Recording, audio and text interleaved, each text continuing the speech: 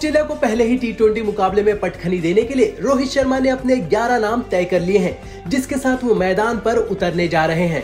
दरअसल Asia cup में भारत के निराशाजनक प्रदर्शन के बाद फैंस टीम इंडिया से खफा हैं, लेकिन अब रोहित ऑस्ट्रेलिया के खिलाफ पहले ही मुकाबले में धमाकेदार जीत दर्ज करके एक बार फिर फैंस का भरोसा जीतना चाहते हैं। इसीलिए अब वो एक तरफा अपनी मर्ज़ी से 11 खिलाड़ियों को चुन चुके हैं जिस पर वो आँख बंद करके भरोसा करते हैं। रोहित को भरोसा है कि ये खिलाड़ी उन्हें जिताने के लिए पूरा दम लगा देंगे। तो चलिए जानते हैं कि किन 11 खिलाड़ियों के साथ रोहित अपना पहला मुकाबला खेलने जा रहे हैं। वेल हम आपको नाम बताएँ उससे पहले आप हमारे चैनल को लाइक और सब्सक्राइब कर दीजिए। तो बढ़ते हैं इस खबर की ओर। रोहित जिन ग्यारह खिलाड़ियों के साथ उतरने जा रहे हैं, वो इस तरह है।